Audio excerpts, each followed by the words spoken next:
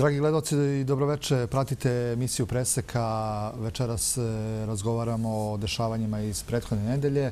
Ono što jeste ostavio utisak svakako je i e, nastup e, američkog predsjednika, američke administracije. E, Donald Trump je naime u svom obraćanju izjavio kako priznaje grad Jerusalim za prestonicu Izraela.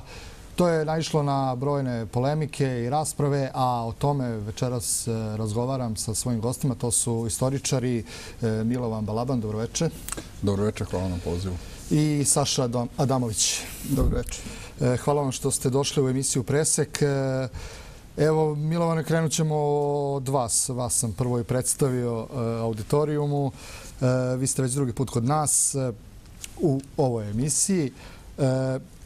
Pa evo za početak, e, kako vama, kako vama izgledalo sve to u vezi sa, sa e, izjavom e, predsjednika Amerike Donalda Trumpa? Pa možemo reći da Donald Trump, otkada je došao na vlast, praktično ima jedan, ajde tako da kažemo, latentni sukup sa nečim što se naziva duboka država kod nas u medijima, da ne ponavljam, znamo šta je to i da njegovi potezi negde u nekoj meri koliko on u mogućnosti odudaraju od prethodne administracije i prethodnih praktično ljudi koji su kreirali zadnje 25 godina, dakle, američku, a i svetsku političku scenu i pozornicu. Zanimljive su reakcije na ovaj potez Donalda Trumpa, upravo zbog toga, zbog prenošenja praktično ambasade američke iz Tel Aviva u Jerusalim, zbog toga što praktično tu postoji nerešen problem sa palestincima i otuda, otuda praktično reakcije iz svih delova sveta su na neki način im pomalo začuđujuće, ali pomalo i negativne. Pa i reakcija iz Rusije je negde da otprilike pregovori trebalo bi da se završe, a da praktično posle toga eventualno Amerika premesti svoju ambasadu. Kad pričamo o tom ovaj, u tom premeštaju ambasade, to je ipak proces koji treba, treba da traje nekoliko godina. Neće se to završiti naravno, u toku ove ili sljedeće godine. Da, da, A da li, je, da li je taj period i neki vakum od tih nekoliko godina možda prostor da se naprave neki dogovori? Pa na, naravno da jeste, ali e, sad ja mogu samo da pretpostavljam, moguće je ti pregovori jako dugo traju. Moguće je da sa tim činom negde može da se ubrza taj proces. Na neki način da tim činom simbolički Donald Trump govori i prikazuje neke pravce svoje politike, a mi treba da e, prosto i znamo da negde e, konzervativni deo jevrejskog naroda je bio na strani Donalda Trumpa i da preko njih je on praktično ne samo preko njih, ali da su to bili negde i njegovi glasači dakle, u Americi. Dakle, globalistički deo e, tog naroda negde nije bio, on je bio naklonjen ovoj staroj administraciji. U tom nekom činu i u tom nekom smislu odnosi Donalda Trumpa sa Izraelom, ovo jeste novost na neki način, ali njegov trend i smero i njegove politike na neki način potvrđuju ono što je on obećavao dakle, i kada je došao na vlast i u samoj svojoj predizbornoj kampanji i generalno, generalno njegova, njegova opredeljenja. Gospodina Damoviću, kako ste vi videli ovu borbu Donalda Trumpa i duboke države, takozvane? Pa interesantno je da to što globalistički mediji uvek se iznenade, evo skoro već godinu dana, od kako je Donald Trump u Beloj kući. Globalistički mediji se bukvalno od prvog dana e, šokiraju time što Donald Trump zaista ima nameru da e, ispuni ona svoja predizborna obećanja. Šta je to najveći šok što on kao predsjednik koji ispunjava pa obećanje ili zato što to pre njega niko nije radio? Prethodni predsjednici očito nisu mnogo e, držali do svojih predizbornih obećanja. Ako se još uvek neko seća one predizborne kampanje kada je E, E, Barack Obama e, na kraju svega postao američki predsjednik, on je također obećavao da će e, promeniti mnoge stvari u Vašingtonu i još je tada govorio o tome kako je Vašington, odnosno ta duboka država veliki, donosi veliki deo problema s jedinim američkim državama, ali se onda vrlo brzo utopio u tu vašingtonsku E, vašingtonsku močvaru. Sa druge strane, Donald Trump je između ostalog i pobedio upravo na tom talasu velikog nezadovoljstva e, vašingtonskim, e, običnih amerikanaca, vašingtonskim establishmentom, obećao je isušivanje te močvare i ta močvara ili duboka država se evo godinu dana skoro uporno bori protiv bukvalno svake odluke E, Donalda Trumpa, pokušava da ovako ili onako sabotira e, svaku njegovu nameru da ispuni e, ona obećanja koje je dao američkim biračima. Evo, kada je došlo ovo, na red da ispunjavanje ovog obećanja, on je zaista u predizbornoj kampanji obećao da će konačno još od 1995. godine E, e, je donet taj zakon u američkom kongresu i zamislite sada amerikanci koji su ponosni na svoju demokratiju i čiji je e, kongres doneo zakon još 1995. godine da će ambasada biti prebačena u Jerusalim, da je bukvalno od tada svaki predsjednik zapravo obstruisao odluku sobstvenog, sobstvenog e, parlamenta. Čega su to radili? Između, pa ili nisu imali hrabrosti ili e, su vodili jednu politiku koja, bez obzira što je retorički bila proizraelska, s obzirom da Sjedine američke države su bukvalno glavni spoljno-politički partner i Izraelu, su ipak vodili jednu politiku koja je i tekako Eh, E, išla na ruku neprijateljima e, Izraela, a to je posebno doživjelo kulminaciju sa Obaminom administracijom i taj sukob između Izraela, odnosno premijera Netanyahu i Baraka Obame je bukvalno pri kraju e, Obaminog mandata više taj sukob nije ni mogao da se, da se skriva i zapravo je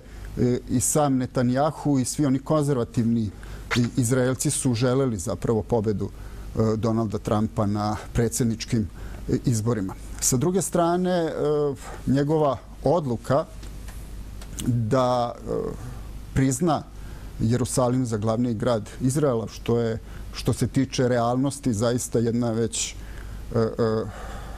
normalna, normalna stvar, jer u Izraelu, u Jerusalimu su zapravo sve najvažnije državne institucije Izraela, a ne, a ne u Tel Avivu i on je zapravo samo konstatovao jednu realnost i sa druge strane on, iako objašnjavajući tu svoju odluku i šta ona znači, on nije ni u jednom e, momentu doveo u pitanje e, onaj plan o dve države, znači, o formira, o, znači da pored Izraela bude formirana i palestinska država, nije doveo u pitanje čak ni to da istočni Jerusalim bude prestonica buduće palestinske države, ali očito globalistički mediji navikli da na nož dočekaju svaku ideju ili svaku odluku e, Donalda Trumpa, a ovog puta su i tekako e, u svetskim globalističkim e, krugovima ovaj, ta ideja je, videli smo, dočekana sa velikim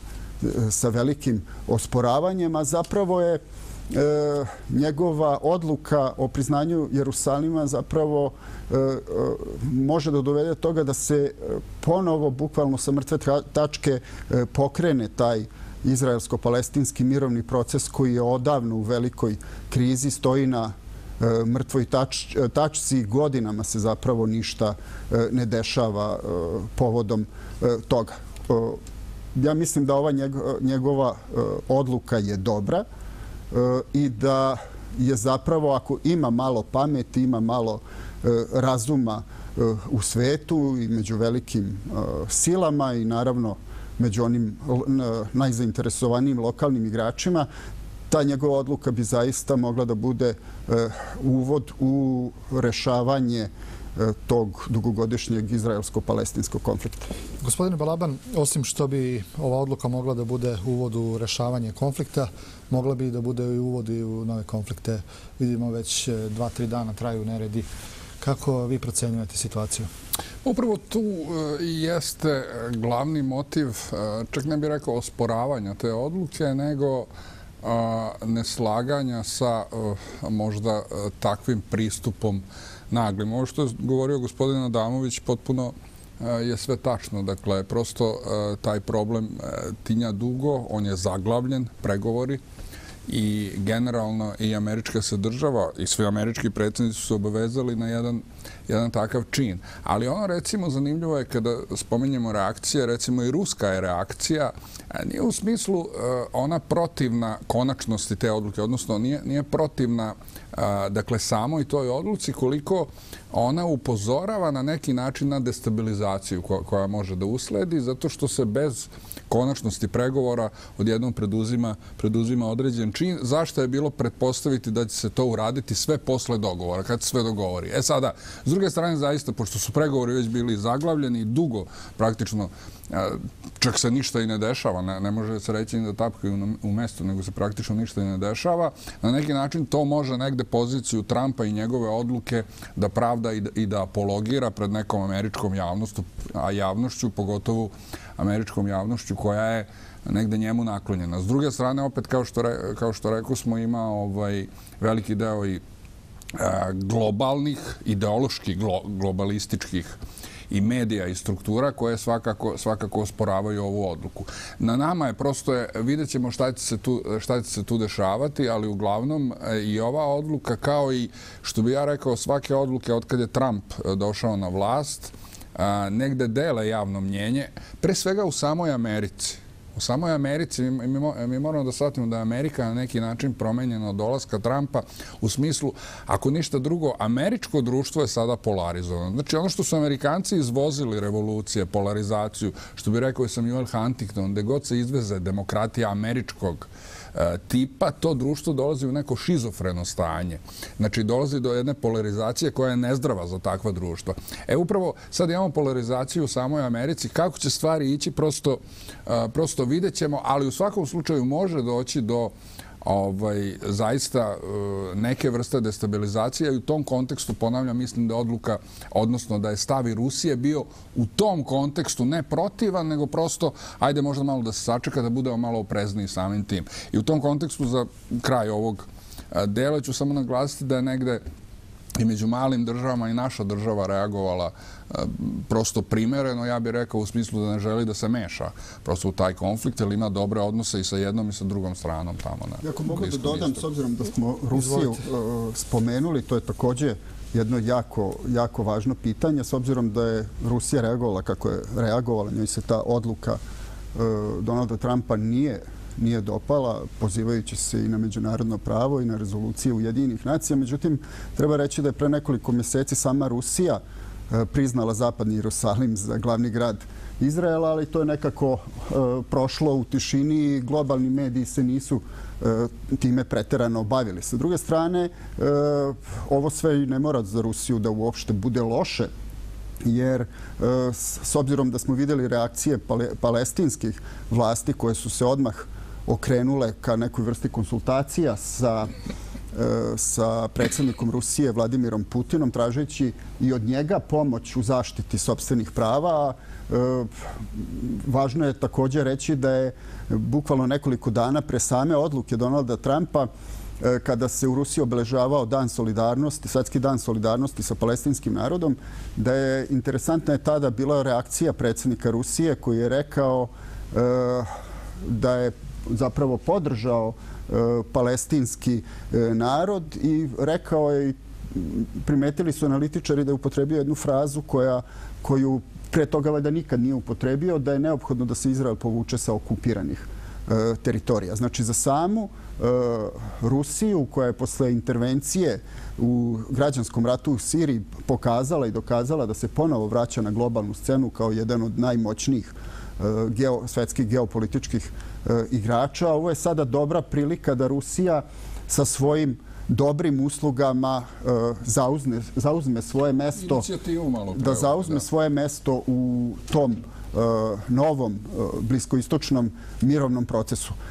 Naravno, Bliski istok je osetljivo, osetljivo područje, uvek je istorijski bilo tako. Evo, nedavno je obeleženo i 100 godina od te takozvane Balfurove E, e, deklaracije i u medijima su se također lomila koplja o njenoj koristi i šteti u kasnim istorijskim e, događanjima. E, tako da jedno nestabilno područje zapravo na neki način zaglavljeno u toj svojoj permanentnoj nestabilnosti je možda ovom odlukom Donalda Trumpa i nekakvo e, i budućem učešću recimo Rusije u mirovnom procesu ili Kine u mirovnom procesu koja se sve jače angažuje u tom e, regionu, možda bismo konačno mogli doći do nečega što bismo mogli nazvati e, rešenjem tog bliskoistočnog problema. I još jedna rečenica, pošto smo spomenuli i naše ovde interese, dugo sam recimo razmišljao s obzirom na čuvenu i veoma popularnu kod nas misao ili pouku e, Miloša Crnjanskog koji još 35. godine e, nas je poučio da stvari treba posmatrati sa stanovišta, sa srpskog stanovišta, odnosno stanovišta, stanovišta e, srpskog interesa, e, ja mislim da ova odluka Donalda Trumpa e, za nas ne može da donese nikakvu štetu, a ako budemo vispremni, mudri, možemo sve ovo da iskoristimo i takako u popravljanju našeg spoljno-političkog položaja. Samo jednu rečenicu. Potpuno se slažem. Ja sam samo rekao ovaj, da prosto taj neki uzdržan stav mislim da je dobar e, za nas, a ovo se potpuno slažem sa gospodinom. Više uzdržanih stavova bilo. Čuli smo i predsjednika Makrona da je negodovao, sami ste rekli, i iz Rusije, stižu iz Evrope uopšte e, e, neke negativne reakcije, ali sve te reakcije kao da su Eh, bile unapred pripremljene. Nigde se nije čulo neki previše eh, eh, neki previše negodovanja kako je očekivano u ovako nekoj situaciji, pa se onda između i ispod nekih tekstova i priča moglo čuti da je Donald Trump dobro, njegova administracija dobro pripremila ceo ovaj proces oko priznavanja Jerusalima. Da li mislite, ovo je sad pitanje za obojicu, e, da u stvari reakcije evropskih zvaničnika, zvaničnika Evropske unije i Rusije u stvari jesu samo e, formalne, a da u suštini tu neće biti nekog pretjeranog negodovanja? U suštini mislim da je Donald Trump prilično dobro odabrao trenutak za donošenje takve odluke. Negde neto na isteku prve godine sobstvenog mandata, nije bilo ni teško predvideti e, reakcije drugih igrača e, na Bliskom istoku, u Evropi ili u svetu. Međutim, mislim da je on pravilno procenio. Sa druge strane, ne bih, e, mislim da je on tu odluku doneo i protiv, boreći se protiv tih struktura duboke države. Mislim da je jedan od naših najboljih poznavalaca Trumpove politike uvaženi analitičar Obrat Kesić recimo primetio da je Trumpova odluka da prizna Jerusalim zapravo udarac američkom globalističkom tom spoljno-političkom establishmentu koji se žestoko protivio koji se žestoko protivio toj ideji oko priznanja e, Jerusalima. Interesantno je da je bilo raznih reakcija, da su, evo, između ostalog, u Americi se primećuje da su e, teroristi i liberali zapravo bili ti koji su se suprotstavili Trumpovoj odluci oko priznanja Jerusalima. Interesantno je da su eto konačno utihnule i te priče Pa evo nekoliko dana pre njegove e, e odluke Barack Obama je na neka, nesrećni Barack Obama, Nobelovac, e, je na nekom forumu u, u Americi upozorio e, Amerikance na slabost ili na, na, na, na osetljivost američke demokratije i maltene samog Donalda Trumpa je uporedio ponovo sa Adolfom Hitlerom, a Ameriku sa Nemačkom 30-ih godina. I evo, gledajte, taj Adolf Hitler je izgleda prebacio, done odluku da američku ambasadu iz Tel Aviva e, prebaci u, e, prebaci u Izrael. E, znači, to je također e, značajan, značajan događaj baš iz tog razloga što je, to, što je njegova odluka koja je, mislim, čak išla mimo State Departmenta, e, koji je e, s kojim Trump ima i dalje velikih problema, jer mislim da Rex Tillerson ne radi za sada dobro svoj posao i nije ispunio E, onaj zadatak koji je dobio kada je bio imenovan za šefa State Departmenta i on će najverovatnije posle godinu dana na toj funkciji biti uklonjen jer će jer Donald Trump mislim da je to gotovo sigurno ima nameru da e, aktualnu šefa CIA Majka Pompea dovede na, e, na to mesto. Ono što je jako važno, ta odluka Donalda Trumpa e, dovodi u pitanje taj globalistički svetski poredak u kojim mi živimo posljednjih 25 e, godina i to je za nas Srbe i za našu državu jako važno i mi smo ti koji to treba da, e, da podržimo jer u tom svetskom poredku koji je počeo još tamo završetkom hladnog rata pa sve do pobjede Donalda e, Trumpa. U tom svetskom poredku izgleda da za Srbe i Srbiju nije bilo, nije bilo mesta, da je taj e, poredak prema nama bio prilično surov, bezdušan i da jednostavno ona ludačka košulja koja nam je navučena 5. oktobra 2000. 2000. E, godine, a da se mi onda svih ovih 17 godina 21. veka otimamo, da se oslobodimo te košulje, da smo eto prvi put tu šansu dobili upravo sa pobedom Donalda Trumpa. E, pritisak je, pritisak je veoma jak. Znači 5. oktobra e, ta nam je košulja navučena. A što treba se desiti da bismo se otrili košulje? Možemo samo sam prosto interesantno, interesantno kada smo se dotakli toga da, da, da i to... Mi ovaj- moramo da se borimo ponovo za svoj suverenitet, da obnovimo suverenitet e, naše države koju smo izgubili 5. oktobra 2000. E, godine. Ja neću da kažem... A tvrdite da smo e, pre toga bili suverena država? Mi smo se borili... Znate, u međunarodnim odnosima jednoj državi našeg gabarita i našeg geopolitičkog položaja nije lako da očuva suverenitet. Sa druge strane, svi mi koji eto malo bolje E, e, poznajemo nacionalnu istoriju, e, znamo i tekako da od Karadž, ako posmatramo samo našu novovekovnu istoriju, da od, od Karadžorđa pa nadalje, da je to bila sve vreme jedna e, žestoka borba, jedno veliko rvanje sa svetskim silama upravo e, da bi stvorili e, svoju suverenu svoju suverenu i nacionalnu državu i da smo boreći se za taj suverenitet tokom svih ovih godina i tekako morali da položimo velike, velike žrtve. Mi smo 5. oktobra e, po svemu sudeći taj e, suverenitet e, izgubili bez obzira na sve one koji tvrde da je suprotno i neću da grešim dušu pa da ne kažem da su se i naši politički lideri da se i naši politički lideri posle 5. oktobra nisu borili svako na svoj način da tu ludačku košulju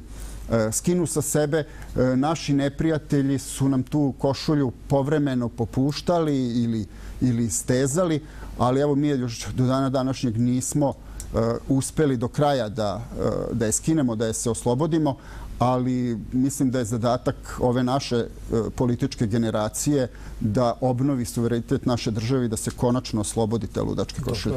Gospodine Balaban, da odgovorite vi na ovo pa, pitanje.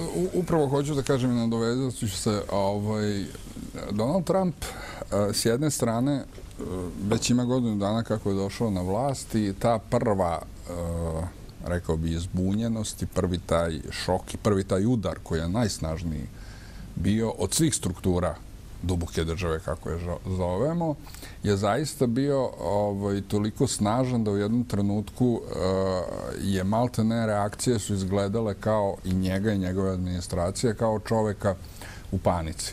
Posle godinu dana može se reći da na neki način uh, se on koliko toliko, koliko je moguće ovim uslovima stabilizovao i u tom smislu to što ste vi pitali, ta akcija je svakako pripremljena.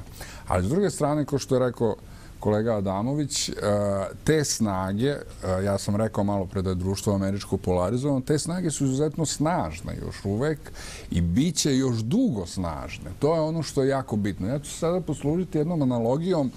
E, istoričari vrlo dobro znaju stanje u Americi je možda, naravno ne isto, istorija se ne ponavlja, ali e, neki trendovi, neke stvari se mogu prepoznati u društvenim, političkim i elitnim kretanjima. Dakle, slično je kao u vreme braće Grah u, u, u starom Rimu, kada je počela borba populara, dakle narodne stranke koji su bili protiv te stare senatske stranke. Ta borba je trajala kasnije prosto decenijama. Trump je otvorio jednu eru i mislim da je pogrešno smatrati Evo, kolega Adamović možda me ispravi, on je zaista poznavalac Trumpa i američke politike. Mislim da je pogrešno smatrati da će se u vreme mandata Trumpa rešiti sve stvari. Znači, to je jedan proces koji će prosto dugo trajati. Taj, e, ta dva pola američkog viđanja politike koji imaju, pazite, u sebi i dosta toga sličnog.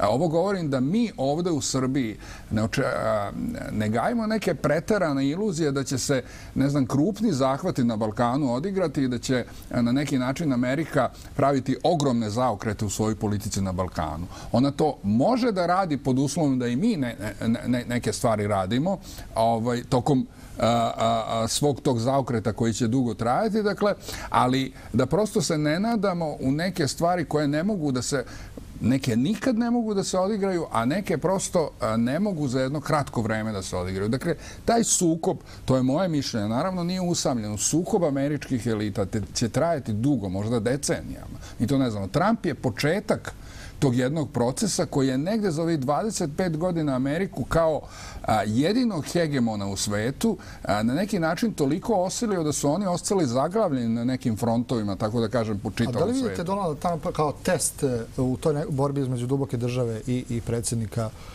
E, da li, da li ima Trump uopšte šansa da pobede u toj borbi? I da li je ovim potezom napravio neki korak napred? Gledajte, e, svakim potezom, samim pobedom na izborima, on je napravio jedan korak napred. Jer pazite, samim tim što su građani Amerike rekli na izborima da neće tu politiku, to je već jedan korak napred. Samom svojom pojavom.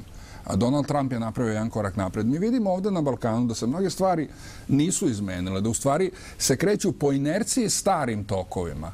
Ali prosto za jedne krupne rezultate, za nešto što je vidljivo, pogotovo ovdje na Balkanu, prosto će trebati više vremena i to je, kažem, nemoguće očekivati od starta. Drugo, Amerika ima ipak, koliko god da ona polarizovano društvo sada trenutno. Ipak ona ima e, i u svojoj tradiciji, u svojoj imperialnoj ideologiji, ima nešto paket načela od kojih se neće odustati. Neće ni Donald Trump odustati od nekih stvari samo zbog toga što je posvađan, ne znam, sa nekim starim establishmentom. U tom smislu moramo da shvatimo da Amerika jedna ozbiljna imperija, da ta polarizacija ne može na nju da utiče kao što može da utiče na male Srbije, između ostalog i na Srbiju. U tom nekom smislu Amerika će ići napred, ova borba će trajati. Donald Trump je početak nečega što će po mom mišljenju te kasnije dati vidljive rezultate. Gospodine Adamoviću, može li, evo iz vas pitanje, može li Trump pobediti u ovoj borbi sa dubokom državom i da li je ovaj potez koji je napravio u stvari e, imao za cilj da e, učvrsti svoju popularnost koja e, je od momenta kada je izabran na, na mesto predsjednika e, Sjedinjenih Sjedinih američkih država varirala. Čas je bio gore, čas dole, ali uglavnom e, stiče se utisak kada god padne ta popularnost u javnosti. Da, tako, moramo, da on napravi jedan potez ovako tipa. Moramo da vodimo računa kad su u pitanju ta istraživanja javnog mnjenja, da vidimo koji zapravo koji, ih rade. Koji ako, ako ih rade Washington Post, njegov brat lažov New York Times ili, ne daj Bože, CNN, onda ćete vidjeti da je Donald Trump najnepopularniji e, predsjednik u američkoj istoriji. Sa druge strane, dobro je što sve manje Amerikanaca E, veruje CNN-u, New York Timesu i Washington Postu i s obzirom kako su se oni ponašali sve ovo vreme prema Donaldu Trumpu, Amerikanci takako imaju dobrog razloga da ne veruju tim medijima iz tog takozvanog njihovog glavnog toka. Meni je žao što samo što se mi ovde u Srbiji nismo mnogo odmakli od toga, pa naši e, najvažniji mediji, pisani ili ovaj, pisani ili, ili elektronski, bukvalno prepisuju ili nam prepričavaju ono što tvrde eh, ti američki eh, mediji koji su mnogome eh, ostali bez kredibiliteta. Interesantno je da ako smo mi 90. godina prošli kroz jednu vrstu te globalističke medijske šibe, pa smo na svojim preko svojih leđa osetili šta znači kada lažu New York Times, Washington Post ili CNN, onda bismo i tekako sa takvim iskustvom iz 90. godina morali da budemo e, svesni da sve što dolazi iz te vrste medija uzimamo ne zdravo za gotovo, nego sa e, velikom skepsom i hvala Bogu e, dovoljno smo dovoljno smo pismeni da možemo da koristimo internet, da znamo i po neki jezik pa da možemo da pratimo bukvalno u realnom vremenu mnoge druge alternativne e, alternativne medije i da zaista saznamo šta se dešava u Americi. U Americi je e, sada izuzetno zanimljiva politička scena. Tamo se zaista e, bore dve strukture, globalističke strukture i uslovno rečeno nacionalističke strukture u Americi koje ne žele da više Amerika bude e, E, predvodnik u stvaranju svetske države, da e, ratuje ili da se bori recimo e, za prava LGBT populacije, recimo u Nigeriji i tako dalje, već je potrebno da se vrate e, samo i da se bore samo za zaštitu svojih nacionalnih i državnih interesa, što je e, ideja i samog Donalda Trumpa, koji je obećao Amerikancima da on ne želi da bude predsjednik sveta, već predsjednik Sjedinjenih američkih država. I sve što radi, e, e, svaki njegov potez, koji je naravno kritikovan, ne znam da li postoji neki koji je uopšte i pohvaljen, ali zapravo svi ti njegovi potezi pokazuju... od strane njegove... Da, da, od strane njegovih neprijatelja. Znači, svaki taj njegov uh, uh, uh, potez znači da on nije odustao, da, nije, da ga nije progutala Vašingtonska močvara, kako smo od mnogih analitičara mogli da čujemo u prethodnih godinu dana. On je živ, zdrav i bori se za ono u šta veruje i bori se da ispuni obećanje Amerikancima koje je dao u kampanju. Sve se to moglo i očekivati kada je došao na mesto predsjednika i to kampanja koju je vodio također je bilo niskih udaraca i sve to To je sve ono, sve što on radi i tekako na jednom globalnom nivou i široko posmatrano i tekako je i u našem nacionalnom državnom interesu, ali mi propuštamo evo već godinu dana da prema Americi i prema Donaldu Trumpu vodimo jednu proaktivnu e, politiku. Nedavno je e, kroz izjave Ivice Dačića e, smo primetili da se tu i nešto e, menja. A to ćemo se dotati te teme malo kasnije. Ali je jako važno da ne dozvolimo da vreme prolazi, a da mi skrštenih ruku i samo reaktivno čekamo na politiku Donalda Trumpa. Možemo sad, pričat ćemo svakako i o tome malo kasnije, da se vratimo na Jerusalim i suštinu problema da ako možemo gledalcima malo približimo celu priču. Zbog čega tri religije toliko insistiraju na Jerusalimu? Možemo ovdje da pričamo o nekoj teološkoj suštini problema? Pa, evo reći ćemo, prosto Jerusalim je sveti grad za ovaj, sve tri religije na, na neki način za hrišćanstvo je... Svaka ima svoje razloge. Za, za hrišćanstvo je... Drevno. Upravo drevni. Gledajte, ovo je jako dobro pitanje u smislu, jer duhovni razlozi, iz tih duhovnih razloga, razloga proizilaze i ovi e, razlozi koji se manifestuju, pa i politički razlozi.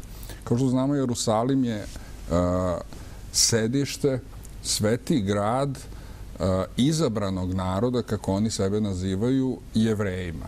E sad, po hrišćanskom učenju, dakle, jevreji jesu izabrani narod u smislu do pojave Isusa Hrista kada, po, kada praktično počinje duhovno izabranje. Znači, to je onda postaje, ja sad govorim učenje jednih, drugih i trećih, pritom ne dajem kvalifikacije. Kada crkva, Hristova postaje jedno duhovno izabranje. E, sa treće strane imamo prosto islam, e, koji je negde preko svog proroka Muhameda vezivao se kombinacijom, ajde tako da kažemo, starog i novog zaveta. Dakle, formirana je jedna religija koja je isto centar, mi imamo oprosto i priču iz islamskih teoloških spisa, da je jedne noći praktično Muhamed prenešen na neki volšeban čudotvoran način prenešen, prenešen u Jerusalim. Dakle, u tom nekom smislu, dakle, Jerusalim se negde i percepira kao centar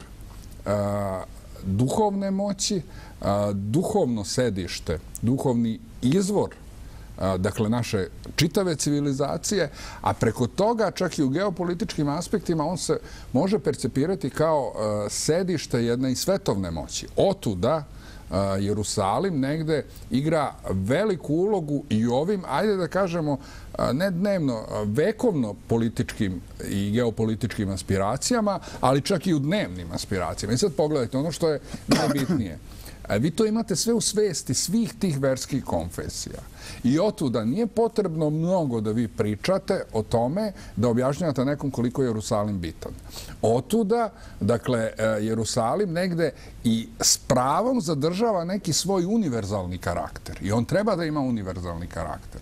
Dakle, on mora, otuda ova odluka je negde bitna. Nije e, Donald Trump svojom odlukom e, praktično e, rekao da Jerusalim pripada samo jevrejima. Prosto on je negde u skladu i sa odlukama Američkog kongresa, u skladu i sa jednim stavom e, Amerike kao države, on je uradio određen potez. Malo pre smo pričali koliko je to dobro, koliko nije, kakve će reakcije da izazove. Ali otu taj e, Jerusalim kao bitan grad. Znate, u Svetom pismu i ovom otkrovenju se spominje e, novo nebo i nova zemlja i kao vide gde se spušta novi Jerusalim, govori Jovan, što mu je otkriveno. Dakle, kao nova duhovna preobražena varijanta. Eto i tu Jerusalime, to je jednoj hrišćanskoj viziji Jerusalime. E sad, zašto sad ovo govorim? Prosto i vi ste me postakli sa svojim pitanjem.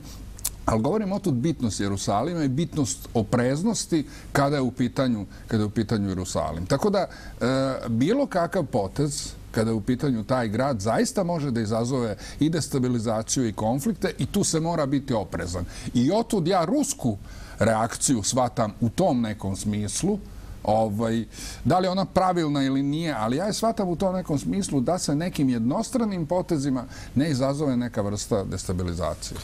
Jerusalim, Jerusalim isto tako bio i kroz istoriju središte brojnih religijskih sukoba. Upravo iz tih razloga, tako? Pa, naravno, nesporna je važnost Jerusalima u duhovnom ili religioznom smislu, ali e, ova odluka Donalda Trumpa ne dovodi u pitanje duhovni ili religiozni značaj Jerusalima. Ja mislim da ako posmatramo ovu odluku u jednom geopolitičkom ključu, gdje će se svi najvažniji geopolitički igrači složiti od, oko toga da se na tom prostoru formiraju dve države, što je bila e, ideja, znači izraelska i palestinska. U tom smislu Jerusalim može da bude zaista prestonica Izraela, može da bude istovremeno prestonica Palestine i da uvek bude jedan otvoren grad gde ćemo i mi e, koji nismo ni jevreji ni muslimani da odlazimo u naš na naš hađiluk i da ovaj tamo zadovoljamo naše pravoslavne... Ona je naša duhovna prestonica. Tako je, ona je i naša duhovna prestonica. Možda bismo i mi jedan deo Jerusalima mogli da, da, tražimo da. i to bude naša duhovna prestonica pored recimo Hilandara, nešto u tom u tom e, smislu i zaista... Znate, knezu Lazaru e, dolazi iz Jerusalima poruka i predlog kom će se privoliti carstvo. Znate, to su jako e, bitne, dubinske poruke koje prodiru u čitavo, čak ne kolektivno nesvjesno, nego čak u duhovnu srž jednog naroda. Znači, samo potvrđujem ovo, izvinite što sam vas prekinuo. Sa druge strane, neke palestinske ekstremne grupe bi zaista, ako žele mir na tom prostoru, morala bi da se odreknu tih ekstremnih ideja da o potrebi da se uništi Izrael i da Izrael ne postoji. I bojim se da upravo reakcija pre svega Hamasa e, koja je bukvalno došla da, da možda nisu ni sačekali završetak rečenice Donalda Trumpa kada je, do, e, kada je govorio o toj svojoj odluci da prizna Jerusalim, jer bojim se da nisu sve pročitali, da nisu e, se obavestili onako kako treba. E, što bi se reklo, reagovali su na, na prvu loptu umjesto da uzmu bar sat, dva vremena da malo stanu upravo i porazmisle. Upravo je, ovo ste me podstakli sada, da. Vuk Drašković podsjetio na ono njegovo, podsjetio na izjavu iz 2006. godine kada je između ostalog rečeno i da ponovljeno kad, priča kada bi Hamas odložio oružje, zavladao bi mir, a kada bi Izrael položio, e, nestalo bi evrijske države. To može da se, da, da se ovaj, shvati ozbiljno? Pa, ono što čime se hvali uh, Vuk Drašković, da je on bio jedan od prvih koji je to predlagao, ja bojim se da uh, da u svojstvu tadašnjeg ministra spoljnih poslova da to baš i nije bila primjerena izjava u tom trenutku s obzirom da ipak ministar spoljnih poslova mora da sledi određenu politiku, politiku e, vlade, a ne da poput recimo e, ovog e, slučaja sada sa Bakirom Izetbegovićem mimo diplomatskih protokola i mimo politike vlade izlazi sa nekim svojim idejama, bez obzira koliko on sam misli da su genijalne ili nisu. Sa druge strane, postoji sada mogućnost i na tome se radilo, ja mislim da je Egipat na tome radio, da Fatah i Hamas e, naprave neku vrstu sporazuma oko zajedničkog e, nastupa i možda je to korak u, u, drugom, u dobrom pravcu, jer na taj način bi se na neki način otupio taj, ta oštrica palestinskog e, ekstremizma, za koju između ostalog možda i možemo da nađemo nekakva opravdanja s obzirom da se na zapadnoj obali Gazi E, palestinci žive u prilično e, teškim uslovima, ali sa druge strane, tokom proteklih godina e, nekoliko puta je i izraelska vlada izlazila sa nekakvim mirovnim predlozima prema palestincima, a palestinci su izgleda čekali neki povoljni istorijski moment da bi na njih pristali i u ovom momentu mislim da ga nisu dočekali. I da se, naravno, videli smo i reakciju mnogih značajnih muslimanskih lidera od, od predsjednika Turske Erdogana, videli smo reakciju Eh, Irana i tako dalje. Oni su. Da, Arabske lige. Oni su pozivali, neko je pozivao na ujedinjenje svih muslimana sveta, neko je pozivao na ujedinjenju svih Arapa, a onda kad pogledamo stanju, stanje na terenu, niti će se ujediniti svi muslimani na svetu, niti će se svi Arapi na svetu ujediniti i bojim se da je tako bilo i ranije E, kroz istoriju. Koriste se, ima sada posle ove odluke Donalda Trumpa, e, zaista se koriste i teške reči, e, s jedne strane ima tu i huškanja palestinaca protiv, protiv Izraela da bi na neki način osporili, osporili odluku Donalda Trumpa. Naravno, pokušaj nekih evropskih lidera da će oni sada nekakvim pritiskom uspeti da odvrate Donalda Trumpa od te njegove ideje je, mislim, potpuno e, besplodan. Naravno, proći će godine dok se ne prebaci e, ambasada e, u, u, u Izrael. Ja ne znam koliko je ovde Amerikancima u Srbiji trebalo da iz one svoje nesrećne spaljene ambasade, koliko im je vremena trebalo da se izgrade novu na Dedinju i da se tamo presele. Pa eto, na nam ta vrsta, ovaj, odnosno taj tajming posluži kao neki reper, reper za koliko vremena bi možda mogla američka ambasada da pređe u taj deo e, e, Jerusalima koji pripada jevrejima, to je zapadni Jerusalim. Pričali smo i o izjavama i reakcijama iz sveta. E, izraelski premijer Netanjahu je rekao da Jerusalim predstavlja izraelsku nadu, molitvu i snove gotovo tri milenijuma. Nazvao je dan koji je koji se dogodio pre, pre nekoliko ovaj dana istorijskim. S druge strane, palestinski lider Abbas kaže da je Jerusalim večita, večna predstavnica Palestine. I nas hrišćana, nadam se. I, i, sad smo to negde... 2000 godina, posljednjih 2000 godina. Do, dolazimo do toga i e, u, u stvari da, da ogromna većina država neće podržati ovu odluku Trumpa. Negde smo to i, i pomenuli u samom početku i kroz ova izlaganja. Ali eto, ako možemo također gledalcima da, da pojasnimo zbog čega. Pa, prosto taj potez je, kao što rekoh, negde, e, bez obzira što on negde ima utemeljenje i u američkim odlukama američkog kongresa, negde je došao na neki način iznenada upravo e, zbog toga što prethodne administracije i zbog svoje ideološke orijentisanosti i zbog e, pokušaja da e, sačuvaju stabilnost regiona, ali i zbog pokušaja, ja bih se složio naravno sa ovim, e, vođenja jedne politike koja negde nije odgovarala Izraelu i jevrejima u nekom nacionalnom smislu. Dakle, jedan potpuno drugčiji koncept geopolitički, dakle, i u tom nekom smislu ovaj, e, prosto te reakcije e, će postojati, e, one će, vidjet ćemo do kakve će polarizacije dovoditi, do kakvih konflikta, pa bilo je, naravno, ovaj, prve reakcije su odmah bile da će, kao što je rečeno, ceo muslimanski svet da se ujedini. Mislim, znate, ujediniti milion ljudi je jako veliki problem, a kamo li Eh, ceo muslimanski svet ili bilo koji ceo svet isprepletan ovaj, eh, raznim interesima i u raznim geopolitičkim i istorijskim zonama. Tako da, ovaj, generalno, eh, ja ne očekujem neke naročite, pogotovo što to se neće odmah desiti. Ja očekujem sada tu jedan proces koji možda može da pokrene sa mrtve tačke neke druge procese i da u nekom, nekoj krajnjoj liniji, ovo govorim e, onu najbolju varijantu, da u krajnjoj liniji favorizuje dakle, jedan trend rešavanja tih problema koji su, koji su jako nagubili. Naravno, to će jako teško ići, kao što i sve prosto i da je jako teško, ali moramo prosto da se nadamo nekom ovaj, e, trendu koji će voditi e, sve te procese u tom pravcu. Meni je bio zanimljiv tekst koji se pojavio pre nekog dana u jednom levo-liberalnom proglobalističkom mediju kakav je Deutsche Welle koji je formalno državni medij e, e Nemačke, ali je zapravo uvek bio na liniji tih proglobalističkih snaga u svetu i naravno oni su odmah kroz svoje analize i izveštaje osudili E, po običaju e, odluku Donalda Trumpa. Međutim, posle dva, tri dana ipak se i tamo pojavio negde glas razuma, pa su objavili jednu zanimljivu e, analizu koja i dalje kritikuje odluku Donalda Trumpa. Međutim, i naslov je bio zanimljiv i zanimljiva je bila teza tog članka da je i dalje, bez obzira na sve, kod Sjedinjenih američkih država, odnosno kod Donalda Trumpa, još uvek je u ruci i štapi šangarepa.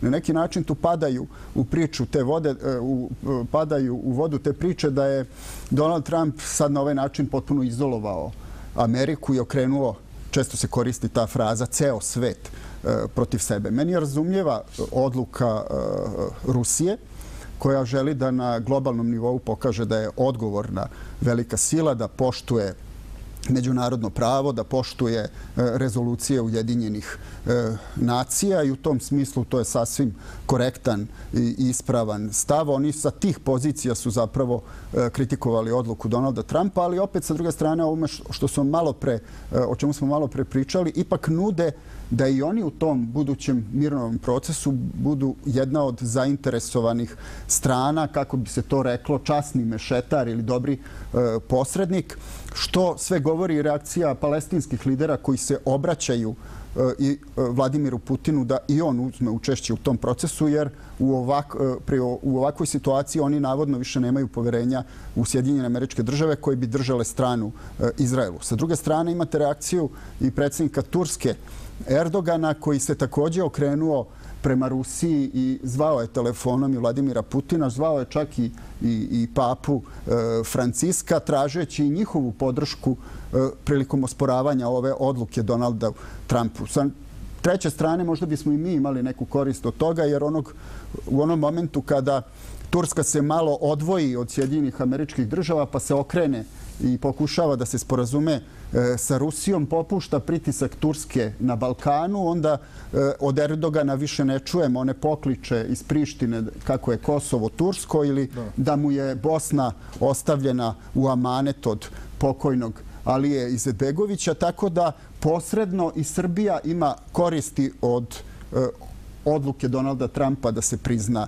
da se prizna Izrael. I mogli bi, sa druge strane, imate Iran, koji je također osudio odluku Donalda Trumpa, ali Iran koji se posle skidanja sankcija našao u jednom e, geopolitičkom problemu, jer mu je u tom delu sveta, e, naročito posle sirijskog građanskog rata, e, na neki način pojačao je svoj uticaj, a od tog uticaja se naravno boje Izrael i Saudijska Arabija i ideja je bila da, što je do juče bilo neverovatno, da se napravi neka vrsta tajne koalicije ili tajnog sporazuma Izraela i Saudijske Arabije koja bi bila vrlo anti-iranska, anti-iranski opredeljena. U tom smislu Iranu bi bilo u korist da se radikalizuje otpor palestinaca prema Izraelu, a da odluka Donalda Trumpa eh, o Jerusalimu na neki način ponovo odvoji Izrael i Saudijsku Arabiju i na taj način Iran bi imao koristi od neke vrste popuštanja pritiska kojima je kojima je do sada bio izložen sa te strane. Između ostalog, e, Sjedinjene američke države su ovim još jednom stavili do znanja svetu da imaju Izrael kao saveznika na Bliskom istoku, pogotovo kada se dešavaju te stvari u Iranu, Siriji i ovaj, Jemenu na kraju krajeva. E, a sada da ako možemo malo da razgovaramo o američkoj strategiji za Balkan koja je skoro E, najavljivana i izvršni potpredsjednik jedne organizacije e, Damon Wilson kaže e, da se Atlantski savez zalaže za unapređenje istorijskog procesa pomirenja sa Srbijom gde navodi predsjednika Srbije kao jednog ovaj, od glavnih činioca u celoj toj priči. Postoji li šansa da dođe do tog nekog istorijskog pomirenja između Srbije i SAD-a, evo, gospodine Balaban, i da vidimo šta to znači za nas? Ovo je sad zanimljivo, možemo se sad prosto i nadovezati, ovaj, koliko god da izgleda da sad prelazimo s teme na temu, ali je jako bitno, zato što Atlantski savjet je u pitanju. I on negde odražava, njegov uticaj koliki je, odražava neku vrstu uslovno rečeno dvovlašća u Americi. Pazite, Atlantski savjet u vreme e, Obame i Clintonovih je praktično on kad odredi određenu strategiju, samo čekate trenutak kada će državna administracija da počne da je sprovodi. E sada upravo ovde pomenuti obrat Kesić, ja sam baš juče gledao njegovu emisiju i bilo je pitanje koliko je uticaja na Atlantski savjet. Jer mi smo naučili da Atlantski savjet kada odredi određenu strategiju, da to počinje da se sprovode. Ja ću reći šta su oni odredili. Obrat Kesić kaže ovako, a on je ipak tamo, ipak je čovek od kredibiliteta. Kaže, naravno da oni imaju uticaj, ali ne izbliza oni više nemaju uticaj kod Donalda Trumpa kao što su imali uticaj kod prethodnih administracija prethodnih 25 godina. Da podsjetim, Počasni direktori, samo da uzmete Atlantskog savjeta, su Kondoliza Rice, Colin Powell, tu je Henry Kissinger, tu je Wesley Clark, eh, tu je Madeleine Albright. Znači, to je sve ona jedna garnitura, ona jedna ekipa koja... Da li oni ulaze na malo vrata sad ponovo na vrata? Eh, to je sad veliko pitanje. Pazite, ovo je sad jako veliko pitanje šta će se dešavati. Jer pazite, njihovo pomirenje, Balkan napred, kako oni kažu, kako su nazvali taj dokument, njihovo pomirenje se svodi na sledećih nekoliko ključnih stvari. I kada to vidite, onda vidite i kakvo je pomirenje u pitanju. Prvo, Pomirenje se svodi na to da Srbija prosto treba da prihvati američku vojsku, odnosno čitav Zapadni Balkan, Znači, za povezivanje sa transatlantskim, ulazak u transatlantske integracije je mnogo agresivniji, što je drugi naziv za NATO praktično. S druge strane, da se do 2019. godine reši problem Srbije i takozvane države Kosovo, odnosno da se praktično formiraju i da se uđe u jedan dijalog koji će se okončati dakle, sporazumom i završetkom jednog okvira dobrosusedskih odnosa. I s treće strane oni kažu sljedeće, da se izbaci uticaj Rusije sa Balkana. E sad pazite, Oni kažu ovako, znamo da je to teško Srbima, znamo da je to teško Aleksandru Vučiću, ali to nije stav oko kojeg mi možemo imati kompromis. I sada pogledajte, e, kada vi imate samo ta tri stava što sam, što sam nabrojao, a oni kažu istorijsko pomirenje Amerike i Srbije. E, znate, Ako vi e, istorijsko pomirenje zasnivate na samo radikalizaciji onoga što vam je rađeno već 25 godina, onda se pita, pita kakvo je to pomirenje. Šta hoću da kažem? To što je Atlantski savjet e, predložio, to je u svakom slučaju i geopolitički i politički, kako god hoćete, nepovoljno po Srbiju. Ono što izaziva dvo, nedoumice, koliki je sada trenutno uticaj Atlantskog savjeta? Da li će on moći u potpunosti da sve te svoje odluke i zaključke sprovede kroz američku administraciju ili će moći deo ili će na neki način Ne vjerujem da će biti potpuno ignorisano to sve, ali na neki način e, će doći do jedne korekcije jednih takvih izuzetno grubih i rekao bih nepovoljnih nepovoljnih e, e, stvari po nas. Da li će to biti tako, vidjet ćemo, ali postoje nekakve na, naznake.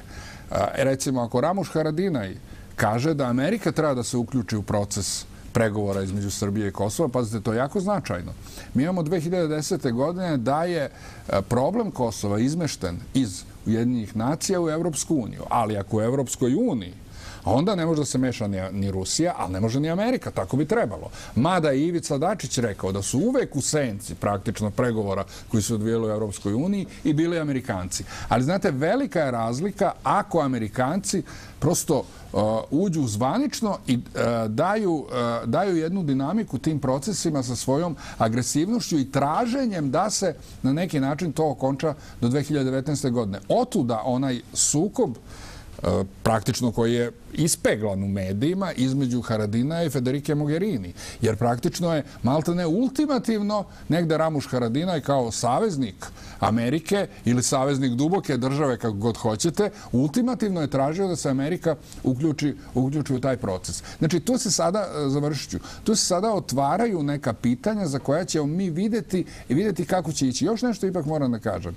Evropska komisija je donela jedan e, praktično dokument koji malo blaže govori sve te nekakve slične stvari sa nekim obećanjem da će Srbija, ako negde e, pristupi tome, i ako to prihvati, biti joj zagarantovano 2025. možda čak i ranije e, članstvo u Europskoj uniji.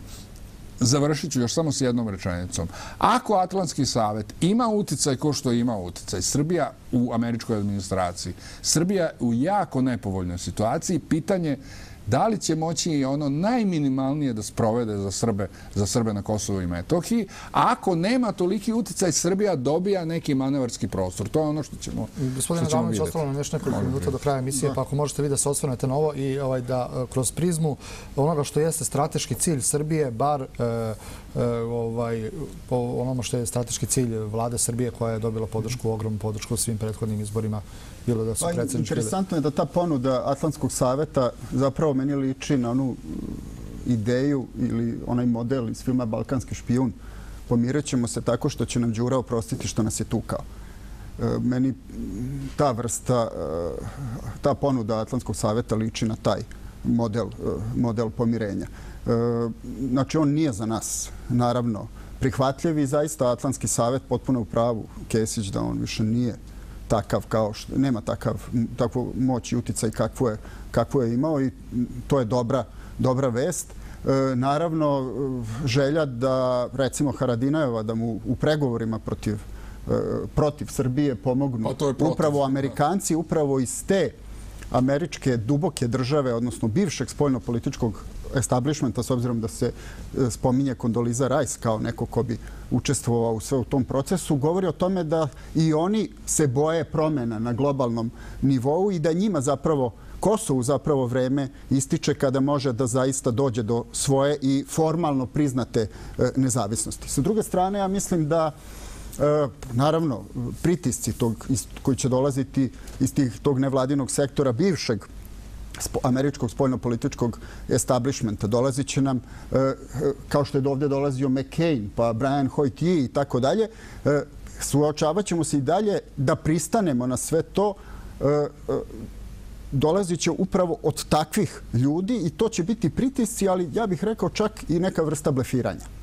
I mislim da nam treba sada da budemo hladnokrvni, da prepoznamo tu vrstu nastupa, tu vrstu blefiranja i da ne nasednemo na to blefiranje. Ako smo uspeli da izdržimo sve ove godine, kada je ta... Pa, e, ako vi ne uradite to, mi ćemo uraditi ovo. Ako vi ne uradite ovo, onda ćete vi platiti jer ćemo vam mi uraditi ovo. Ja mislim da je to sada jedna vrsta blefiranja i za koje, e, da su to samo reči i za koje ne stoji više onakva sila kakva je stajala, e, kakva je stajala ranije. Znači, ako smo mi izdržali da ne priznamo Kosovo, ni de facto, ni de jure, sve ove godine, u trenutku kada je ta američka duboka država bila na vrhuncu svoje moći i uticaja, zašto bi to radili sada? Vidite li koliko su sada u panici i ne samo kosovski albanci, nego u albanci u regionu?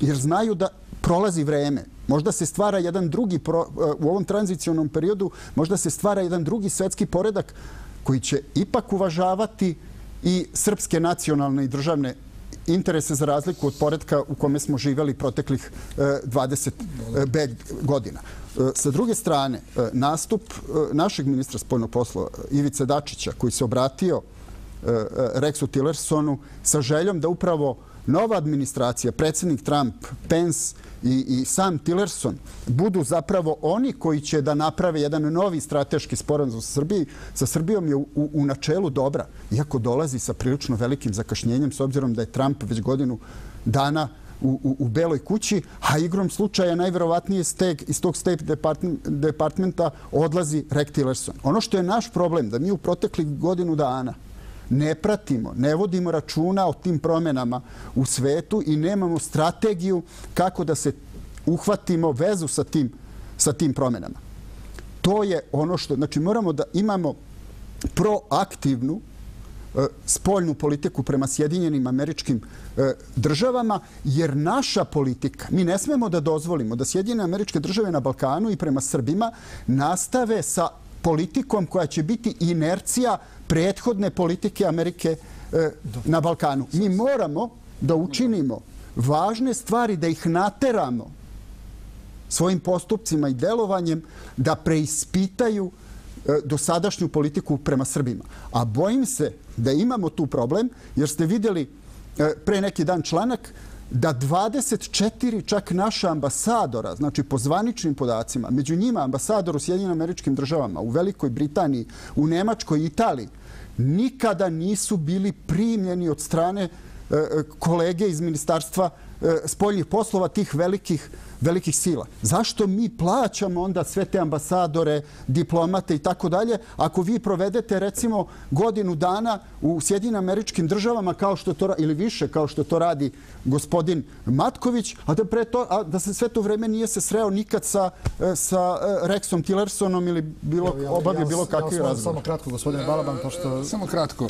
Ovaj, e, ja sam i rekao, kad sam se obratio malo pre, dakle, E, E, ta uslovna podvojenost i zaista dovode u pitanje značaj Atlantskog saveta. Ne značaj, nego koliko on sad utican i koliko može da utiče na američku spoljnu politiku.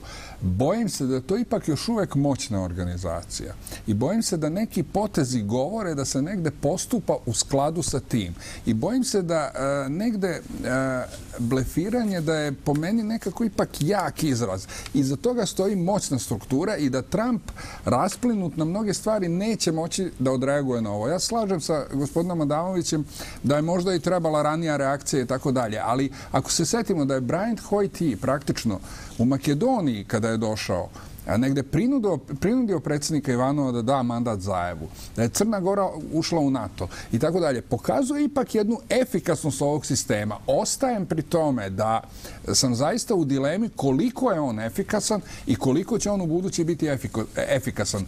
Bojim se da on ipak mnogo snažniji nego što izgleda, a ipak manje snažan nego što je bio. Dobro, hvala vam što ste bili deo emisije Preseka. Hvala vama na poziv. Hvala i vam. Dragi gledalci, vama hvala što ste bili uz nas večeras. Vidimo se naredne nedelje od 20 sati i 15 minuta. Laku noć, prijatno.